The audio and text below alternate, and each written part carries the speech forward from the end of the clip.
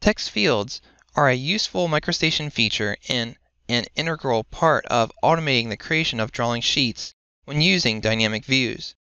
Fields provide the ability to expose property information such as a client name, project ID number, or a drawing title, allowing those properties to become incorporated in a sheet border text. In this lesson, you will update existing placeholder text with text fields, incorporating the value of the various properties into a sheet border. In this lesson, you will use Exchange to open a reference attachment for editing, add text fields to a sheet border, and view workset, file, and model properties. Here, in the MicroStation Connect edition, continuing in the sheet model of the modelseed.dgn file, move the cursor over the border reference, allowing it to highlight. Press and hold the right mouse button to bring up the right-click context menu and pick Exchange. The BSI 300 G-0-Border DGN from the course datasets Building 302 Standards Seed folder opens. Zoom into the lower right corner of the sheet. In this area of the sheet border, you will find text placeholders that you will utilize in the creation of a cell.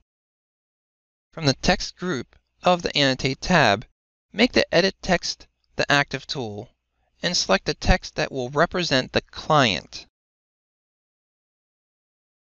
In the text editor, highlight the text, and then from the icon bank, click Insert Field. The Select Field Type dialog opens.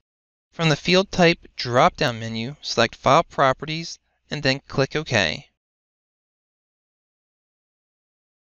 Next, the Field Editor dialog opens. Along the left of this, expand the Workset Properties category and pick the value in the Client field. Click OK to place the text field in the text editor. And then from here, issue a data point into the view to accept the text edit. Repeating these steps, continue to edit the text placeholders, adding the workset properties using these values. For the placeholder text, project, select the field type File Properties,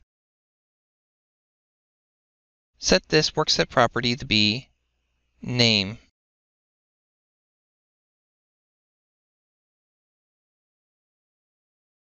For the next placeholder text, job number,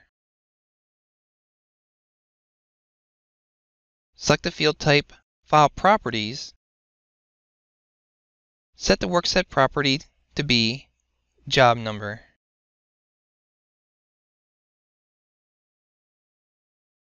Issue a data point in the view to accept the text edits.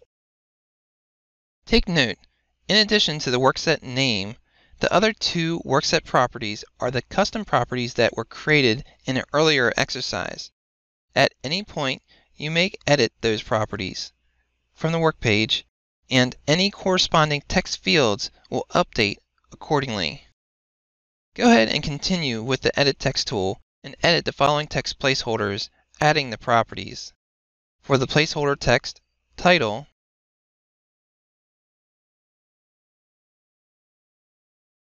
Select the field type Model Properties.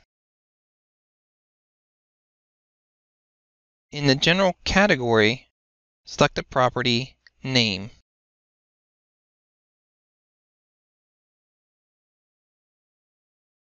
For the placeholder text Scale, select the Model Properties field type. In the General category, select the property annotation scale.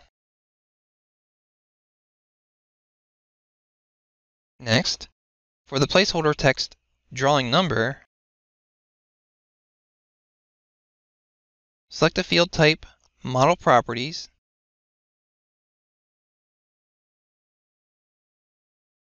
then in the category Sheet, select the property Sheet Number.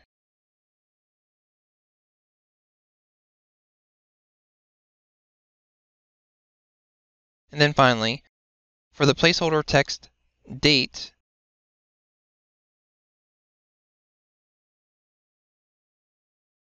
select the field type File Properties. In the general category, select the property Date Saved. When adding the date text field from the right side of the Fields Editor dialog, in the Date Time Format drop-down menu, select the format 2005 09 07.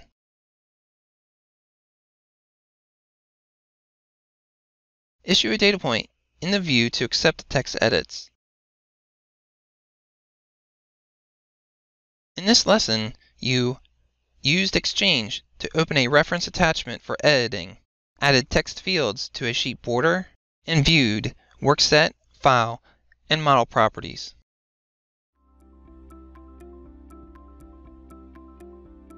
If you found this video helpful, please give it a like. If you want to see more such series, consider subscribing to our channel.